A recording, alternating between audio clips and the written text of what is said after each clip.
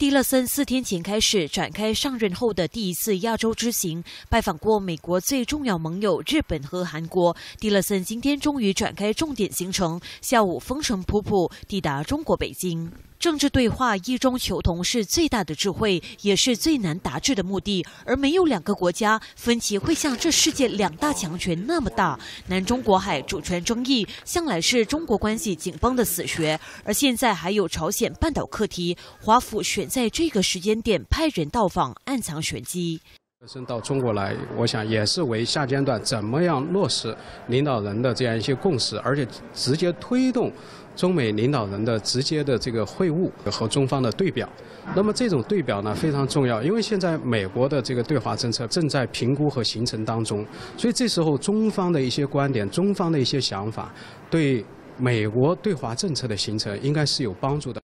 中国目前把打造中美友好关系列为外交政策首要任务，因此在半岛课题上可能会答应华盛顿对朝鲜落实进一步制裁，甚至会要求和华府加强合作对付不受控制的朝鲜。但前提是必须平衡中朝和中美关系，避免激起朝鲜对中国的敌意。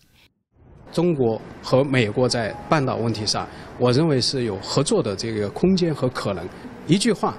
光是靠这个压力和对峙，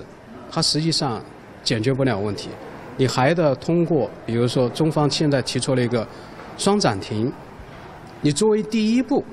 双方各退一步，就是为未来的这个对话和这个交流，那么留下这样一个空间和可能性。